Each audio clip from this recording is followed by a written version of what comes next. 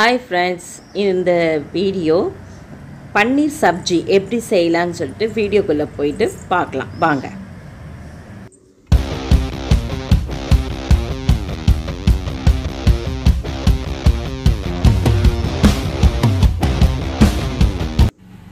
தேவையான பொருட்கள் வெங்காயம் தக்காளி பச்சை மிளகாய் இஞ்சி பூண்டு பன்னீர்.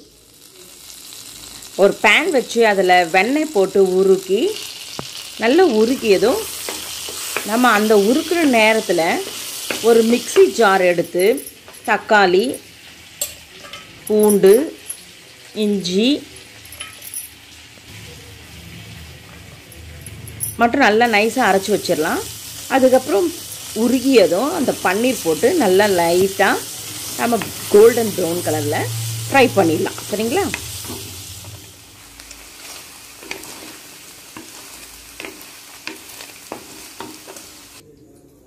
ஃப்ரை பண்ணி எடுத்து வச்சாச்சு. அதுக்கப்புறம் அதே கடாயில் அந்த வெண்ணெயில் கொஞ்சம் ஆயில் விட்டு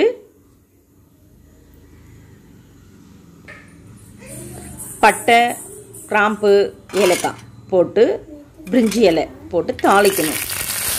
தாளிச்சிட்டு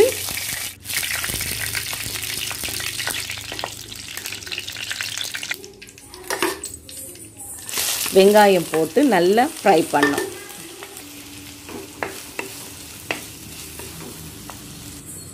அதுக்குள்ளே நம்ம மிக்சி ஜாரில் அரைச்சி வந்தாச்சு.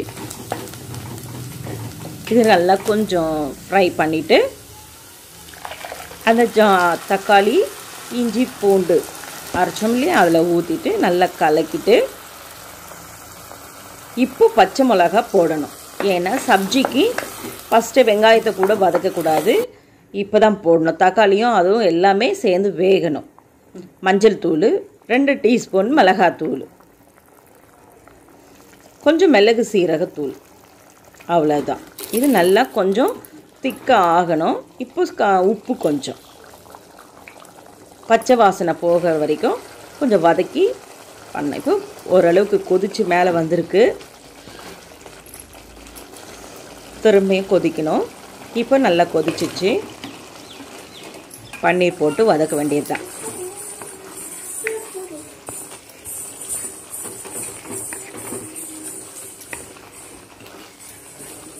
கலக்கிட்டு கொத்தமல்லி தூவலாம். அப்படி இல்லைன்னா கஸ்தூரி மேத்தி இலையும் தூவலாம். என்கிட்ட கஸ்தூரி மேத்தி இலை இல்லை. அதனால் கொத்தமல்லி தூவிட்டு இறக்கிட்டா பன்னீர் சப்ஜி ரெடி. மிகவும் ரொம்ப ருசியாக இருக்கும். நீங்களும் செஞ்சு பாருங்கள் வீட்டில் பிடிச்சிருந்தால் லைக் பண்ணவும் ஷேர் பண்ணவும். சப்பாத்தி கூட தோசை இட்லி எதை வேணாலும் எடுத்து சாப்பிட்லாம். நான் சப்பாத்தி கூட செஞ்சு சாப்பிட்டேன்.